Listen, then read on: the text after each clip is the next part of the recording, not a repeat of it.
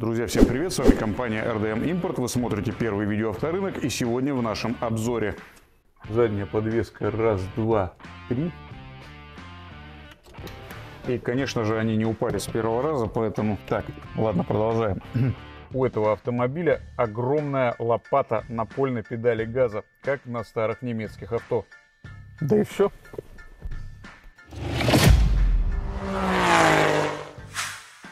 Этот автомобиль очень часто покупают только за его внешность. И на самом деле это действительно один из самых красивых кроссоверов массового сегмента на российской вторичке. Эти автомобили хорошо продавались, будучи новыми. Плюс у модели есть целый ряд весомых преимуществ перед моделями-конкурентами.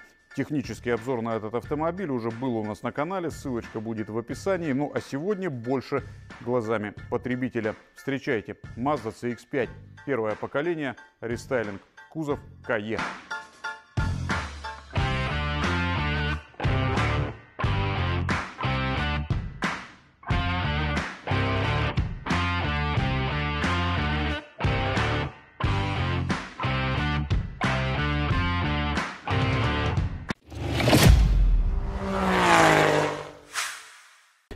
Первое поколение Mazda CX-5 появилось в 2011 году, достаточно давно. Эта машина выпускалась всего 6 лет, до 2017 года.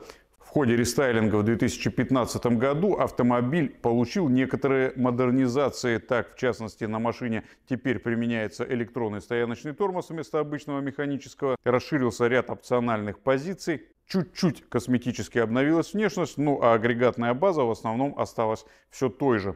На российском рынке Mazda CX-5 можно было купить с одним из трех вариантов двигателей. Два бензиновых и один дизель 2 литра либо 2,5 бензин на 150 и 192 лошади соответственно. И 2,2 литровый турбодизель на 175 лошадиных сил. Самые базовые версии с двумя литрами могли опционально комплектоваться механикой, но только с передним приводом. Однако большая часть CX-5 на вторичке все же будет иметь автоматическую КПП.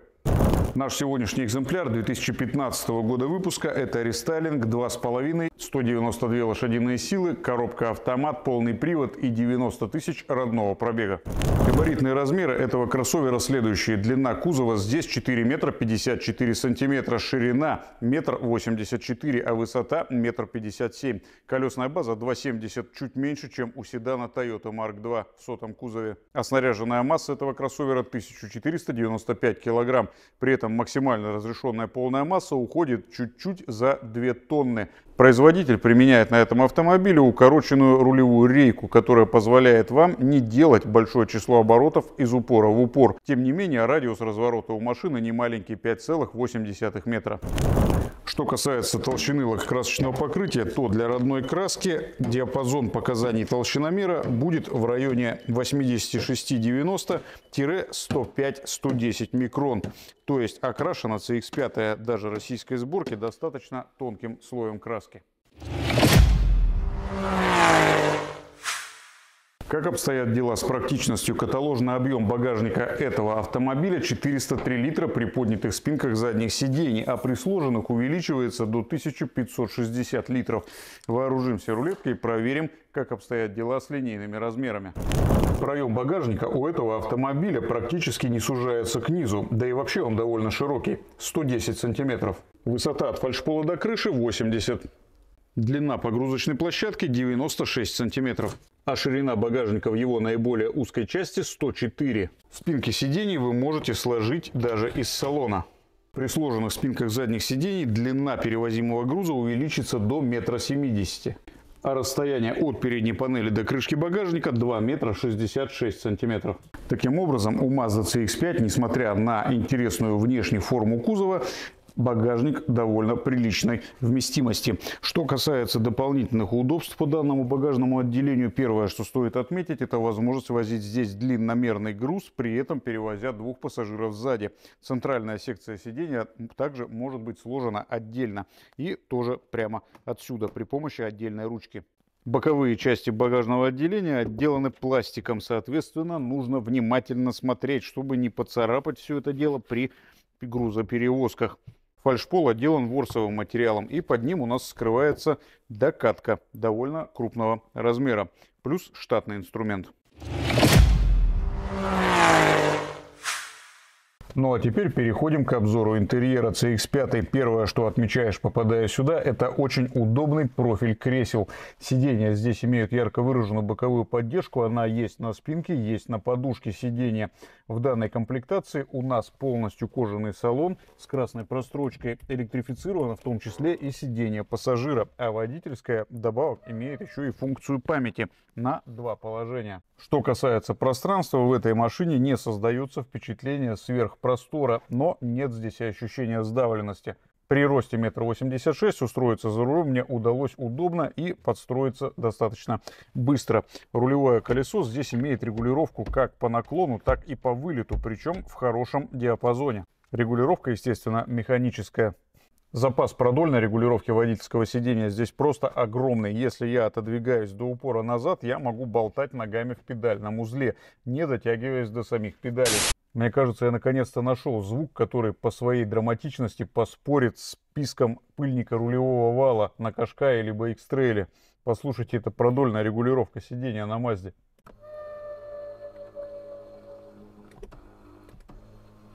Кстати, у этого автомобиля огромная лопата напольной педали газа, как на старых немецких авто. Лично мне, как человеку консервативному, напольная педаль газа кажется удобнее. Комбинация приборов здесь также очень удобно. Три колодца, центральное положение занимает спидометр, он аналоговый. То же самое касается тахометра. Правый колодец целиком занимает дисплей. На него выводится дополнительная информация бортового компьютера и здесь же указатель уровня топлива. Приборка читаемая, абсолютно нейтральная подсветка, никаких претензий к ней нет. Качество отделочных материалов в салоне также плюс-минус приемлемо. Здесь у нас относительно мягкий пластик передней панели, правда веры дверных карт уже куда более жесткий. Но та зона на двери, которая контактирует с вашими локтями, в данном случае имеет отделку кожей. Такую же отделку имеет и рулевое колесо небольшого диаметра, очень эргономичное, абсолютно не скользкое к слову. Подрулевые переключатели у этого автомобиля находятся ровно там, где должны быть, но переключаются с довольно громкими пластиковыми щелчками. Слева на дверной карте стандартный блок кнопок стеклоподъемников. Пластмассовые кнопочки при этом слегка разбавлены хромированными оконцовками для более симпатичного вида. То же самое касается и джойстика регулировки боковых зеркал. Он тоже имеет металлическую окантовку. Слева от рулевого колеса располагается блок дополнительных клавиш, отвечающих за вспомогательные функции, количество которых будет разниться от комплектации. Комплектации в данном случае здесь имеются включение-выключение системы стабилизации, калибровка датчиков давления в шинах, выключение системы iStop – кнопка деактивации системы BSM – это сигнализация о мертвых зонах, и кнопка выключения системы контроля движения в полосе. На рулевом колесе с левой стороны блок клавиш, ответственный за управление магнитолой и подключенным по Bluetooth телефоном, справа управление круиз-контролем. Эта машина с бесключевым доступом, заводится автомобиль с кнопки, кнопка примостилась за переключателем стеклоочистителей на передней панели.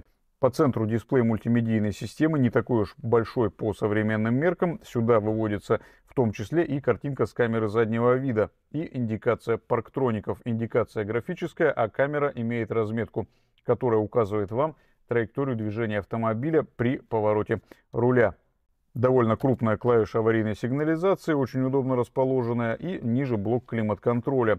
Климат автоматический и двузонный. Температуру можно регулировать поворотными рукоятками, а вот обороты вентилятора уже кнопками, равно как и переключение режимов обдува. Пользоваться всем этим в целом удобно, да и клавиши здесь выполнены тактильно различимыми, поэтому можно управлять этим климатом, не отвлекаясь от дороги. Под ним клавиша включения-выключения парктроников и подогрева сидений, которые работают здесь в одном из трех режимов интенсивности нагрева. Внизу перед селектором коробки передач располагаются слоты для карточки памяти и два USB разъема, плюс AUX выход. Селектор коробки в данном случае привычной формы с прямой прорезью и курком блокировки. Есть отдельное положение для переключения передач вручную. На рестайлинге появился еще и спортивный режим работы автомобиля, активируемый отдельной клавишей сбоку от селектора – а управление навигацией и мультимедиа вынесено в отдельный блок клавиш, который расположился рядом с кнопкой электронного стояночного тормоза. Что касается бардачков, подстаканников и прочих мест для хранения, в этом автомобиле есть куда, например, пристроить телефон. Это довольно объемная крупная полка с наклоном селектором коробки. Два больших подстаканника, ничем не закрытых, располагаются на центральном тоннеле, плюс отдельный маленький слот, вполне возможно, под ключи. Внутри центрального бокса под подлокотником присутствует небольшой отсек, есть отдельная маленькая съемная полочка и довольно глубокий бокс, правда не слишком большой по площади. Основной бардачок этого автомобиля вместит в себя документы формата А4. Вам не придется складывать их вдвое, а на потолке есть футляр для очков. Внизу дверных карт предусмотрены кармашки, куда при желании можно также пристроить и бутылку с напитком. Что касается обзорности вперед, вопросов здесь на самом деле минимум. Разве что передние стойки широковаты и при повороте направо-налево нужно быть внимательным в отношении пешеходов редкий случай, но в этом кроссовере вы можете видеть боковые габариты в верхних положениях водительского сидения. Линия остекления в целом плюс-минус стандартная, боковые зеркала крупные, плюс они имеют отдельную зону с преломлением, которая вдобавок дополняется системой мониторинга мертвых зон. При появлении опасности вы увидите оранжевую индикацию в левом верхнем углу зеркала, ну или в правом верхнем для правой стороны соответственно. С парковкой назад выручают парктроники и камеры. По этой части претензий ноль. Что касается места на заднем ряду, здесь его достаточно. Место над головой с хорошим запасом. Мой рост метр восемьдесят шесть. Само сиденье плоское. Три человека разместятся плюс-минус свободно, хотя среднему может мешать тоннель на полу, и он довольно высокий. Присутствуют крепления для детских кресел типа изофикс. Спинка не регулируется по наклону, это единственное положение, оно довольно-таки вертикальное. К плюсам можно отнести наличие большого запаса пространства для ступней под передними креслами. Есть куда девать ноги. И при моей комплекции при обычной посадке бедро практически лежит на подушке сидения, а не висит в воздухе, как на некоторых автомобилях. Для задних пассажиров здесь предусмотрен отдельный подлокотник с двумя подстаканниками с резиновыми фиксаторами. Но вот больше ничего нет, кроме плафонов освещения и, собственно говоря, небольших кармашков, предусматривающих возможность поставить бутылку с напитком внизу дверной карты. Более детально про двигатели и коробки этих автомобилей мы рассказываем в техническом обзоре, который есть у нас на канале. Ссылочка на него будет оставлена в описании под этим роликом. Поэтому остановимся только на конкретном моторе конкретного экземпляра. Это PY-VPS. Мотор нового семейства серии SkyActiv. Это рядная алюминиевая четверка. Здесь два верхних распредвала, цепной привод ГРМ, непосредственный впрыск топлива, есть фазовращатели на впуске и выпуске. А также стоят гидрокомпенсаторы, регулировать клапана на этих моторах не нужно.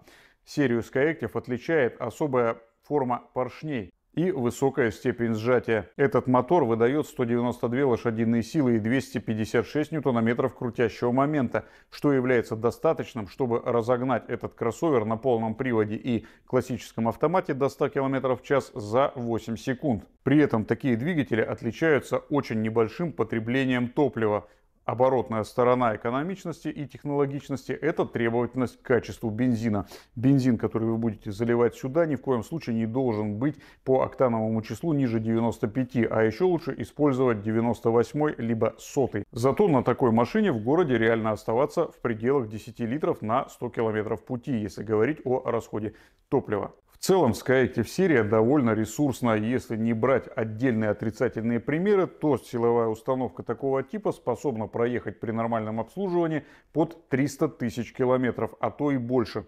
Из неприятностей некоторые владельцы к большим пробегам сталкивались с расходом масла на угар на подобных агрегатах.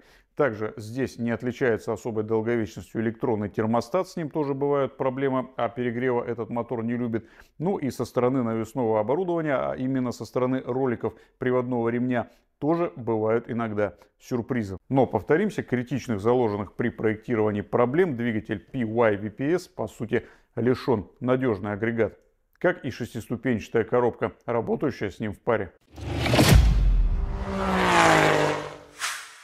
Каталожный дорожный просвет у Mazda CX-5 первой генерации 210 мм, что не совсем соответствует истине. Расстояние до защиты моторного отсека в данном случае всего 18 см.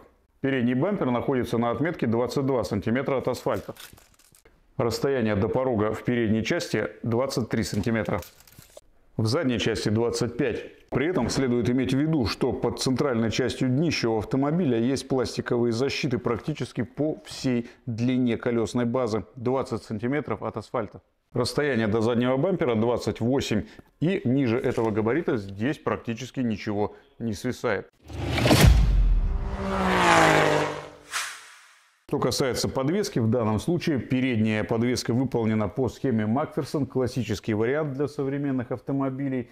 Шаровые опоры в передних рычагах меняются вместе с ними. Весьма солидно выглядят в плане размера задние сайлентблоки передних рычагов. Стабилизатор поперечной устойчивости закреплен сверху на подрамнике и доступ к его креплениям довольно-таки затрудненный как минимум придется убрать теплозащитный экран. Рулевая рейка в данном случае электрическая, никаких шлангов и возможных протечек. Что касается антикора, то даже автомобили российской сборки демонстрируют его практически полное отсутствие шовной герметик и большое количество пластиковых и термозащит по днищу.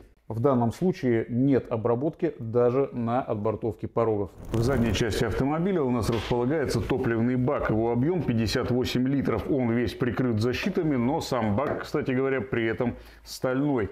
С учетом возможного скопления пыли и грязи между пластиковой защитой и самим стальным корпусом бака, имеет смысл на возрастных машинах убедиться в отсутствии коррозии на нем. Что касается задней подвески, в данном случае у нас три поперечных рычага с каждой стороны. Шаровых соединений здесь нет, обошлось без них. Пружина и амортизатор стоят отдельно друг от друга. Стояночный тормоз воздействует на основные суппорта и приводится в действие электромотором.